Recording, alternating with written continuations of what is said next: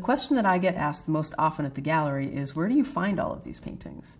And I would say they come from a variety of sources, but most frequently we do appraisals for private individuals as well as institutions. Our gallery manager, Courtney, receives the bulk of the inquiries via phone and email with people wondering what their paintings might be worth.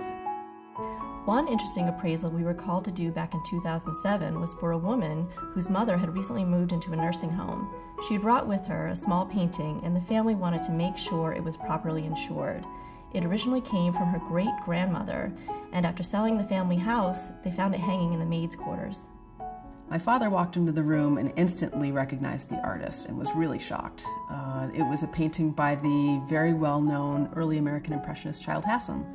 Uh, this was a beautiful little snapshot of a Parisian street scene, and he explained to the family that his works dated from the 1880s, like this one was, are very highly sought after by collectors. And the figure that he put on it was definitely not something that they were expecting. Uh, soon after that, they decided to sell. We contacted the experts on the artist who knew of an unlocated painting of a similar subject that was sold by a Boston gallery in 1890. We think that's where the family initially acquired the piece. The Catalogue Raisonné was thrilled to finally see the painting in the flesh and officially include it in their records. A few years back, a school outside of Boston asked us to come and appraise a couple of paintings. Courtney and I actually walked into the library and were floored when we saw behind the circulation desk two massive paintings that were instantly recognizable as Aldro Hibbard.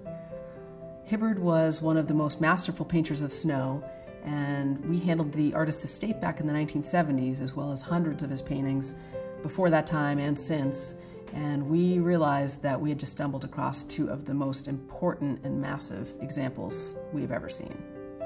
The first piece was a view of the grandeur of the Canadian Rockies, where the artist and his wife honeymooned during the 1920s. And the second piece was a sweeping view of the West River Valley in Vermont, where the artist had a studio for many years. As it turns out, the paintings were gifts from the classes of 1927 and 1930 and had been hanging there all this time, and no one had any idea of the value. We ascertained that the condition on both works was very good, and we were happy to report that these gifts that the school were given so many years ago happened to be two of the most valuable Hibbards that we had ever come across.